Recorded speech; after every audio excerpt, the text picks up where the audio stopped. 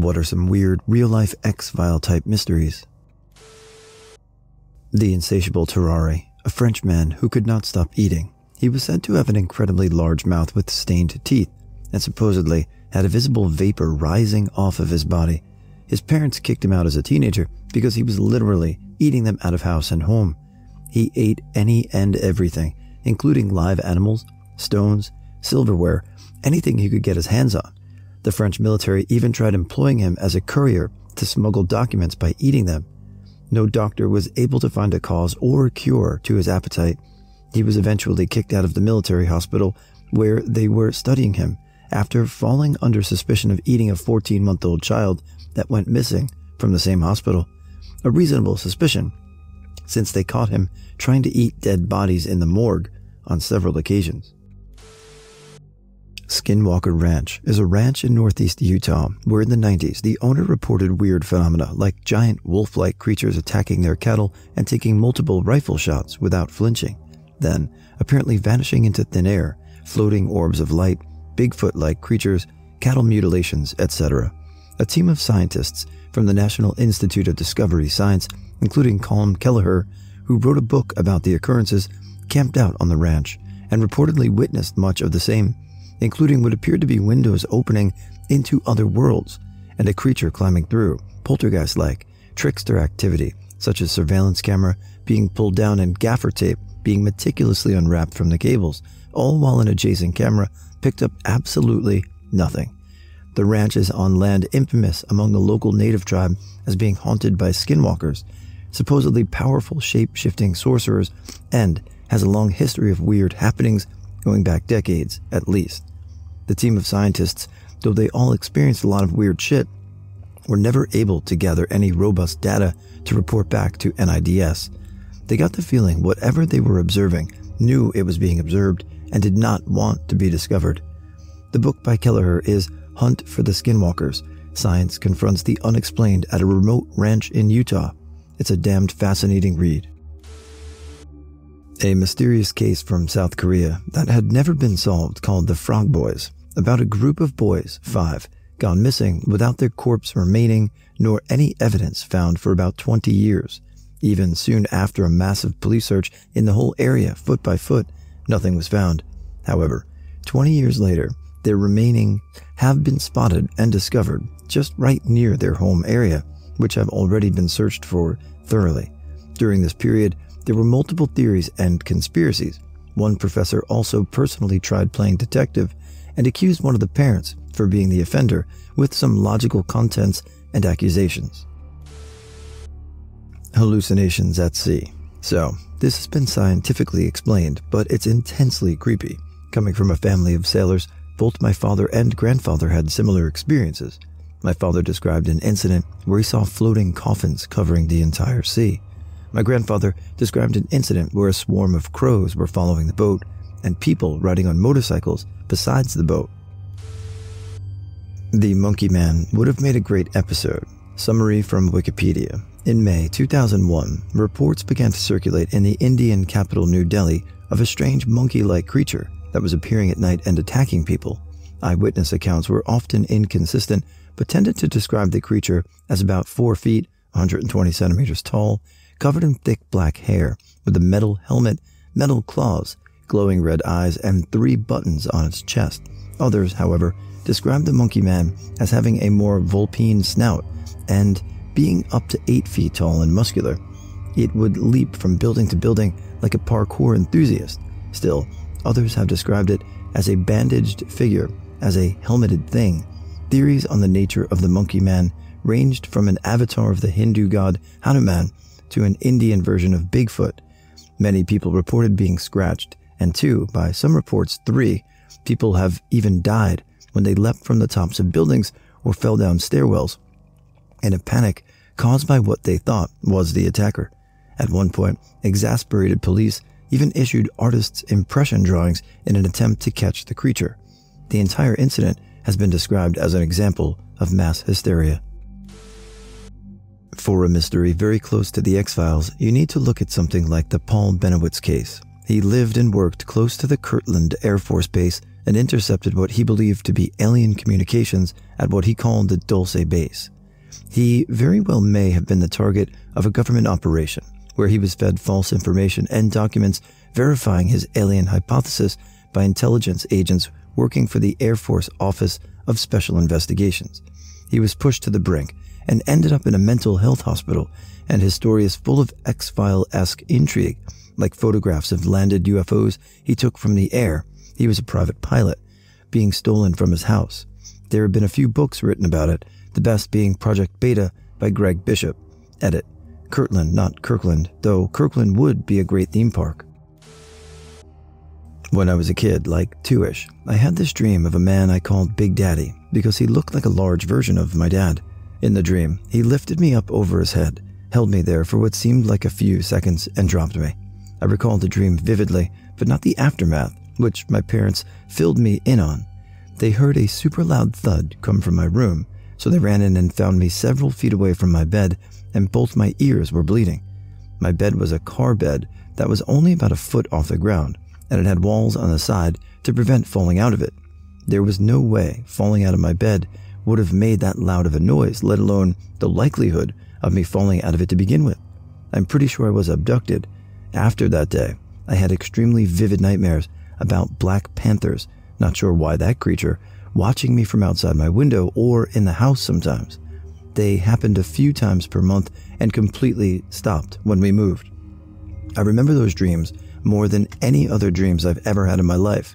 I tell this story all the time as my campfire ghost story, but I've always been tempted to get hypnotic regression therapy to see if I could look past the disguises of whatever it was that was in my dreams to see what was really happening. The Hoia Baciu forest in Romania. Visitors to the forest often report intense feelings of anxiety and the feeling of being constantly watched. Moreover, the local vegetation is somehow bizarre in appearance, like something out of a make believe story, with strangely shaped trees and unexplained charring on tree stumps and branches. The forest was named after a shepherd that disappeared in the area with a flock of 200 sheep. Most people who live near the forest are afraid to enter it due to the stories and legends that have been handed down. They believe that those who visit the site will never return back home. Many of the locals who have been brave enough to venture into the forest complained of physical harm, including rashes, nausea, vomiting, migraines, burns, scratches, anxiety, and other unusual sensations. I read one blog where they guessed that the presence of copper mines nearby may mean there are heavy metals down below, accounting for electromagnetic activity and other explainable causes for the weirdness. The celestial phenomenon happening over Nuremberg in 1561. It happened randomly in Nuremberg's sky and it appeared as if it was a type of aerial battle with spheres, cylinders, and at the end of the spectacle, a black triangular object fell from the sky and a crash was heard from outside the city. This still does not have an official explanation. UFO conspiracy theorists everywhere rejoice. The Taured Mystery. A man shows up at an airport in Tokyo and his passport says that he's from a country called Taured. When asked to point to Taured on a map, he points to Andorra, but is confused because he had never heard of Andorra before. The company that he claims to work for has no idea who he is, even though he had copious amounts of documentation to prove it. He was held in a hotel room, guarded by two policemen, while the police investigated the case. He disappeared from his room, even though they were several stories up with no balcony. The Taman Shud case. A man washed up on Australia shores who is completely and to this day unidentified, cause of death unknown, and he was carrying a booklet with him that had a cryptid message to this day is still without meaning. A suitcase believed to be his was also discovered, with odd objects inside that seemed to make no sense to this man's apparent possession of them, some of the items being red felt slippers, a stenciling brush for marking ship cargo, and a pair of trousers with sand in the cuffs, along with makeshift weapons. The Mary Celeste was an American merchant brigantine that was found adrift and deserted in the Atlantic Ocean off the Azores island, Portugal, on December 4, 1872, by the Canadian brigantine Dei Gratia. She was in disheveled but seaworthy condition under partial sail with no one on board and her lifeboat missing. The last log entry was dated 10 days earlier she had left New York City for Genoa on November 7th, and on discovery was still amply provisioned. Her cargo of denatured alcohol was intact, and the captain and crew's personal belongings were undisturbed. None of those who had been on board, the captain and his wife, their two year old daughter, and the crew of seven, were ever seen or heard from again. There's one I don't hear often about, and yet it happened right in the middle of a downtown of a major Canadian city. There isn't too many videos of it because it happened before people massively had cell phones, but yeah. Montreal Mothership. This thing was above downtown, seen by reporters and cops, and the RCMP, along with NASA even being called. It was massive and described as a mothership, stayed up there for three hours, and the military and airports had no fucking idea what was going on. It then moved east across half the city and caused a power failure. There isn't much about it online, as again, this happened in 1990. But yeah, I'm bringing this up as I've lived there for a while, so it's one I heard a lot of talk about, but I think it's pretty weird. After 18 years of teaching junior high school history, my dad became a trucker, long haul type. He touched the contiguous 48 states. One time, he picked up a load from the defunct Hanford nuclear facility to take to Nevada or Arizona. Unlike all the other loads he hauled this time, he had a two black SUV escort. Has to stop at a way station. We'll handle this, sir. Has to pull over to check the load. We'll handle this, sir. Dad never found out what he hauled that time. Always struck me as odd, creepy government shenanigans. The Hinterkaifeck murders.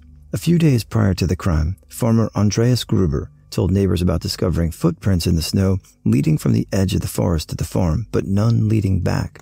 He also spoke about hearing footsteps in the attic and finding an unfamiliar newspaper on the farm. Furthermore, the house keys went missing several days before the murders. None of this was reported to police prior to the attack. Six months earlier, the previous maid had left the farm, claiming that it was haunted. The new maid, Maria Baumgartner, arrived on the farm on the day of the attack and was killed hours later. Exactly what happened on that Friday evening cannot be said for certain. It is believed that the older couple, as well as their daughter Victoria and her daughter Cäzilia, were all lured into the barn one by one, where they were killed. The perpetrators then went into the house, where they killed two year old Joseph, who was sleeping in his cot in his mother's bedroom, as well as the maid, Maria Baumgartner, in her bedchamber. The spontaneous fires of Caneto di Caronia in Sicily. Basically, things just started catching fire in this town and nobody could figure out why. It seems to stop for a while, but then will start again. Seems to always be electrical appliances, but the city shut down power and they kept happening. Scientists are sure it's because of static electricity, but nobody knows why it happens so frequently in one place. Pretty cool mystery. Radio astronomer here. A lot of people have by now heard about the WOW signal, particularly if you hang out a lot on Reddit. But there are many other strange signals we've heard from the sky, and we can explain. One cool example is the Great Galactic Burper. In short, back in 1998, radio astronomers pointed towards the galactic center heard five loud bursts of radiation that were 10 minutes long or so, with 77 minutes separating the blasts. It was really weird. No one knows what caused it, and no one has ever heard this or a similar burst ever again. Pretty crazy stuff. I'm probably late to the party, but this is an ongoing case in the UK right now. Some old guy traveled miles away from home to die miles up a mountain by a reservoir he had no ID on him, and recent tests have found his blood was traced with an illegal rat poison not accessible in the UK. He has a plate in his leg from Pakistan, but doesn't appear to be of Pakistani descent. He was also dressed really smartly and asked locals for directions to the mountain in bad weather.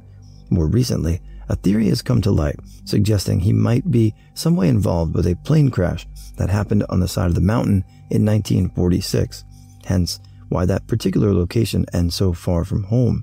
Nobody has come forward to say he's missing either, which adds more light to the theory that perhaps he lost someone in the accident and wanted his final resting place to be where theirs was. Either way, it has the UK puzzled. Futility, or The Wreck of the Titan, a book written more than a decade before the Titanic sank that, if I remember right, pretty much nailed down all of the details of the Titanic's construction and demise to a pretty damn accurate degree.